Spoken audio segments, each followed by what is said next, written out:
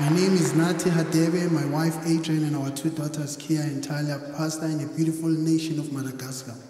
We just want to give praise for all what God is doing here. In August last year, churches were allowed to reopen after a year of being closed due to pandemic. Even during those times, we continued to meet uh, and we saw God do miraculous things. One glorious testimony, one lady that prayed with us during confinement who has brought 17 others into the church. These souls continue to come and were baptized.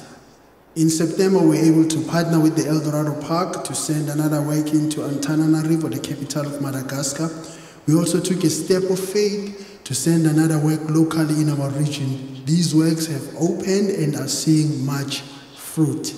This year, God has been doing a work in the area of couples and finances. So far, we have had four couples get married, three of which came in living together or pregnant or got converted and married. One couple had an appointment uh, to get uh, an abortion. They came into the church uh, when we reopened, uh, got saved uh, and married, uh, and now have a beautiful little girl.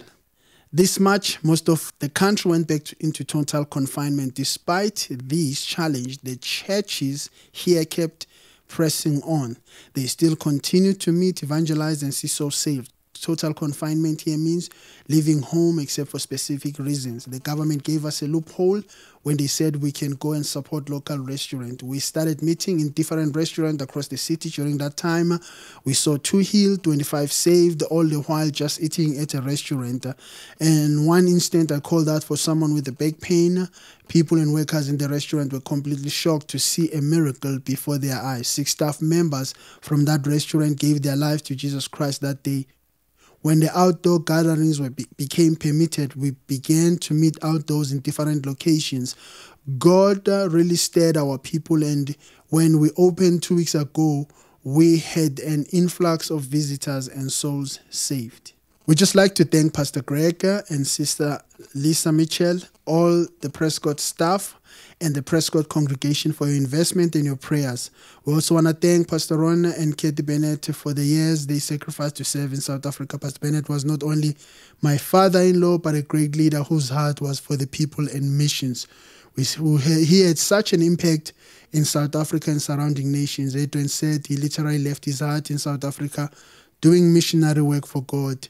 His legacy will forever remain even here in Madagascar as we continue to press forward, plant churches, and risk like he did. What an honor and a privilege to be a missionary, just like he was. We are so thankful to represent uh, everyone in this nation, and we are grateful for the outpouring of love and support for our family during this time. God bless you all and have a great conference.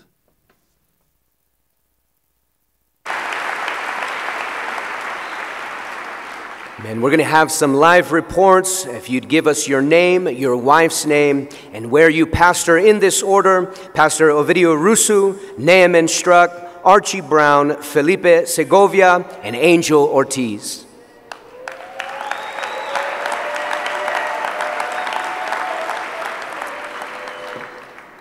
Hello, my name is Ovidiu Rusu, and together with my wife Luminița, we're pastoring in Brașov, Romania. I have a good report tonight in spite of the COVID craziness, the finances of the church in all this time kept growing and people uh, got, uh, kept getting um, added to the church. So there are so many good things and wonderful things that God is doing. I obviously cannot tell you about everything, but I'm going to focus on some of the people that God brought into the church in this time. One man in the church brought his mother to church to be prayed for.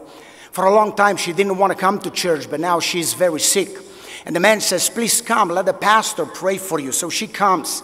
She cannot close her hands. There is pain all over the body. She has trouble with the balance uh, while walking. So I led her in a prayer. She renounced bitterness uh, uh, uh for, uh, on uh, her ex husband. And in a moment of time, she got healed and she got delivered. There was no pain. She could freely move her hands. Her walk improved greatly. The next service, here is the man in the church and his wife, his mother is next to him, his brother and his wife with their two children, his backslidden sister, a whole row of uh, chairs in the church uh, filled by one family. There is another lady, my wife got uh, co- her contact from somebody uh, because she expressed the desire to visit the church. So my wife called her, you know, offered her, offered to pick her up. And she says, No, I, I, I will come, but not now because something is happening. This is so this went on for seven months. My wife, you know, kept texting her, kept inviting her. And then all of a sudden, one service, she just shows up with her little daughter. She gets radically saved. She attends faithfully since then to every service. And uh, she said it's very different in this church than in the Orthodox church. I clearly understand what it is said, uh, and it made sense. There is another two young, beautiful families that locked in in this time.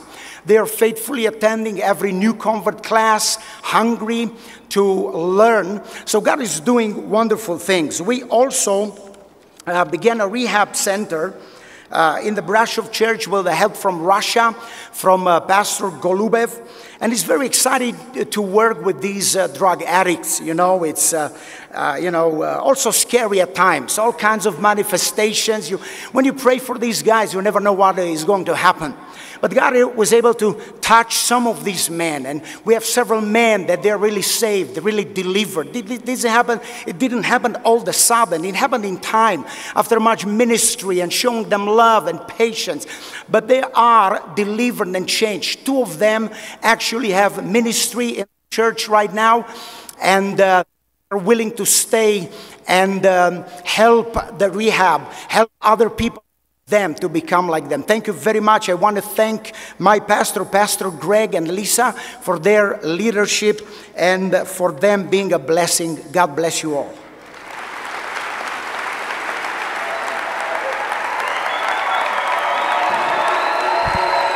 My name is Naaman, my wife Dawn, and our two children, Ethan and Ashton, were announced July 2016 to Mine for Souls in Kimberley, South Africa. When the enemy comes with the COVID flood, the Spirit of God Himself will raise up a wave against him. I want to talk about God's wave. Wonderful work of God in Kimberley. We've been seeing new converts come into our church. March marked five years that the church was birthed. We had an outdoor service. We were able to see fresh people come out. We were able to see seven people saved, and five new converts were water baptized as they made a public confession of their faith. We've been anticipating the work of the Holy Spirit. I had the opportunity to preach on a secular radio station. They have a segment for religious hour, and uh, they approached me and asked me to preach hope and love. I've had numerous opportunities to preach salvation and pray for the sick over the radio waves. One occasion, God spoke to me to pray for the Holy Ghost that people would be baptized, and I did that. I'm believing God we're filled with the Holy Ghost over the airwaves. Victory in finances. A doctor, a local doctor, a friend of mine asked me out for coffee. He wanted to know how our church was doing during the pandemic. I began to tell him that God was bringing in fresh converts. In this, after the conversation, a day later, he deposited 10,000 Rand into our church bank account. He didn't know that he sponsored four men to the Joburg rally, and we're able to take four new converts uh, by the finances of this man. Eternal impact we just had our men's rally, and Pastor Bennett preached a powerful sermon. Friday night, I gathered the men together and I told them that we cannot leave changed, or we have to leave changed from this service. And uh, Pastor Bennett preached about Ehud, that everyone else was fashioning a gift to a man that held the people captive for 18 years, but one man fashioned a dagger. And I challenged our men to fashion a dagger for their generation. And that Sunday, I selected six men six young men to begin to preach the gospel. Eternal impact has been made by Pastor Bennett and Sister Kathy. We went uh, into a local neighborhood and uh, we began to believe God. A man had a vision for this neighborhood and we began to pray for the sick And uh, the highlight, though, was a man who came 18 years old. He wanted to be delivered from marijuana. I began to pray salvation and deliverance, but God spoke to me to pray him for the Holy Ghost and fire, that he would be the key to this neighborhood. So I asked him if he'd received the gift. We laid hands, we put the mic in his voice, uh, and he began to speak in tongues, filled with the Holy Ghost and fire. And in those sound waves, uh, the Spirit of God began to move in that community. I want to thank God for Pastor Bannon Sister Kathy, for their impact in our lives, their faithfulness in South Africa. I want to thank Pastor Greg, Pastor Morales, the Prescott Church, uh, this conference body. I want to especially pray Pastor Foley and Pastor Zeebel, the Yuma congregation. Let's look forward to God's wave of revival.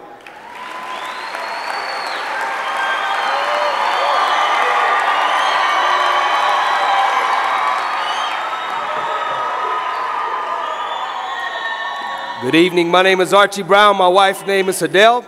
We're pioneering in uh, Panaji, Goa, India. Amen. And we're having a great time. The last two years has been an adventure for us. In January, we celebrated our one year anniversary of being open in our building, and we had Pastor Alex Ambrose come and preach the gospel to us. Uh, he gave timely words. In February, I began to do uh, some classes for the men, to, some sermon workshops, and after those classes had uh, ended, we had two men uh, get up and preach for the very first time.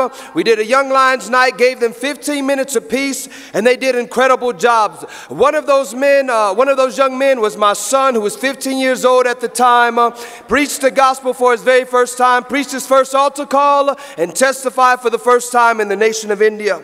This uh, Young Lions Night sparked a revival in our church. It ignited a fire, a spirit in the church that was equivalent to one week's revival. Some people that only come out Sunday morning, they came back that Sunday night. One man was in the middle of a business deal and it was taking too long. He said, The deal is off. I need to make it to church to hear these young men preach the gospel for the first time.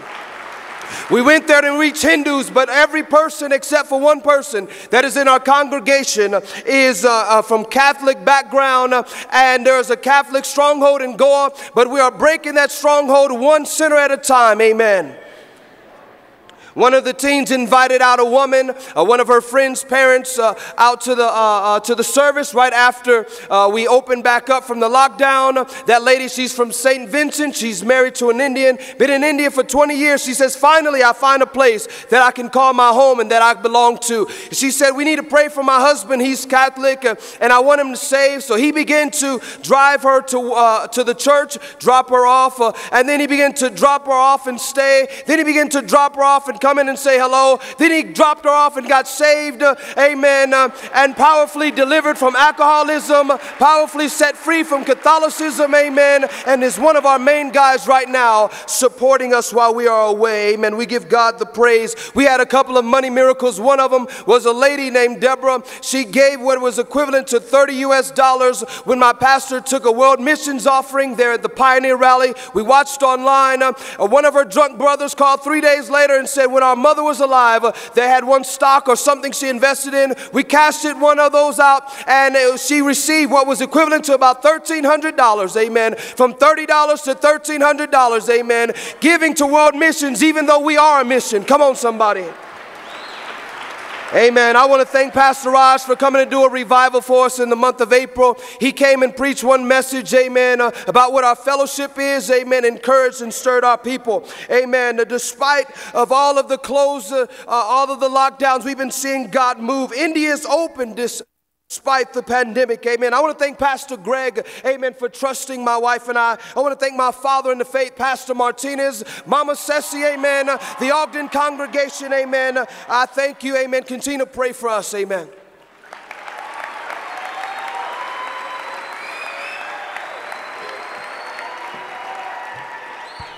Praise God. My name is Felipe Segovia. Man, I feel you, Pastor. My name is Felipe Segovia. My wife Daisy and our two children were launched out of a, a Prescott conference in July 2014 into Bogota, Colombia.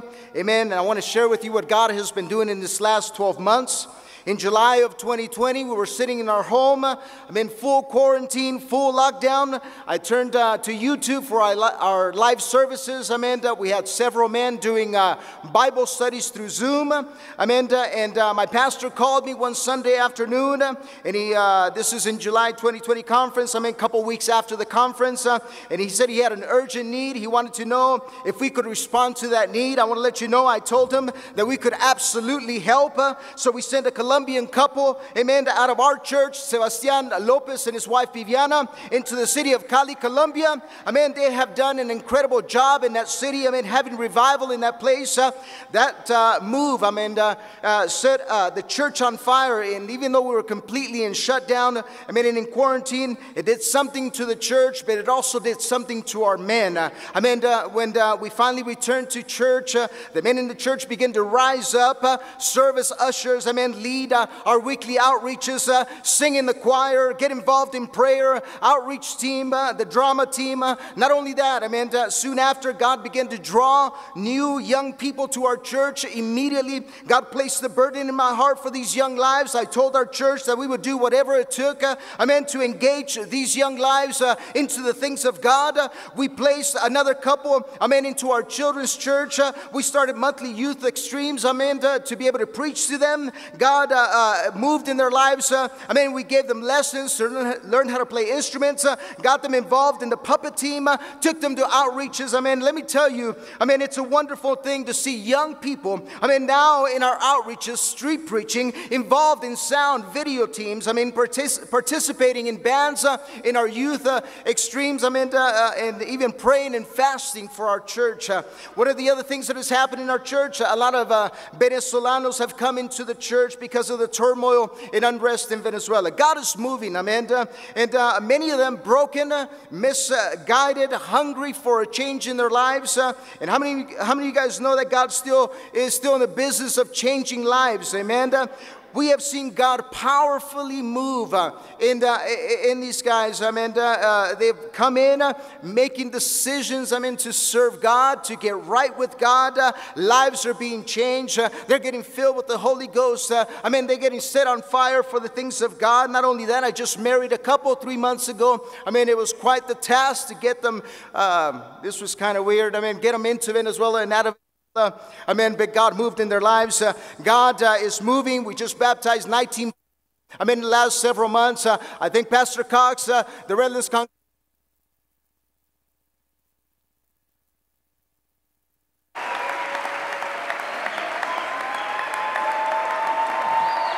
Hallelujah. First of all, I want to thank Pastor Mitchell, uh, Sister Lisa, Pastor Morales, and uh, this congregation, also my pastor Paul Stevens, amen. And so for their trust uh, in us, amen, and sending us, amen, to the beautiful island of Havana, Cuba. Hallelujah. My, uh, my name is Angel Ortiz, my wife Bernadette, and my three beautiful daughters, uh, Sweetie Beauty and Pinky. We pioneer in Havana, Cuba. We were sent there, amen, three and a half years ago. Amen. Uh, we showed up, amen.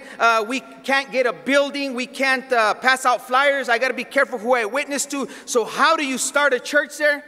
You got to trust God, amen? Let me tell you something. God met with us, amen. God began to raise up a quick work, amen. We are a genuine book of Acts church. We meet in somebody's house, hallelujah, amen. God is raising up, amen, a, a wonderful church. And not only that, God has given us total authority and dominion on the island, amen. In a communist nation, amen. We are preaching on the streets. We have uh, live concerts, dramas, testimonies. I'm pulling altar calls on the streets. Hundreds are getting saved, hallelujah. The cops come by, they just keep driving on. Amen. Uh, nothing is stopping us there. Hallelujah. Tremendous momentum until COVID came. Amen. Uh, you know, they shut the, us down. They shut down the country down. Amen. And so, you know, I, I used to be a criminal and locks, chains, uh, uh, alarms, or, or, or borders wouldn't stop me. Amen. I'm not going to let COVID stop me either. Amen. So we decided, amen, to continue to power on. Amen. Uh, I started at first recording, and uh, uh, we don't have internet. Amen. So we couldn't do Zoom or live stream. Amen. Some of you will get that later. We didn't have internet. Amen. So we started just recording myself, and I got tired of just preaching to a camera. I said, okay, I'm going to invite one couple per service, but you got to invite another couple or some uh, sinners. And man, we have had more visitors. I mean, during COVID, people getting locked in, established. I have three new couples. I mean, they're already on ministry. I mean, on fire, want to preach the gospel. I have five couples in my church. I mean, that take turns preaching, running the services, want to preach the gospel. And this past uh, uh, El Paso Bible Conference, we were able to launch our first baby work, hallelujah, into a neighboring city. Amen. God is doing something wonderful. Amen. Uh, I've been stuck since March. Amen. I'm supposed to leave in 10 days. You pray for us. A lot of civil unrest. Amen. But let me tell you something nothing is going to stop the gospel from being preached in Cuba. You pray for us. Amen. Like Pastor uh, Heimberg said, man, I want to get back, pour my life into these men. We're going to win the island for Jesus. Hallelujah.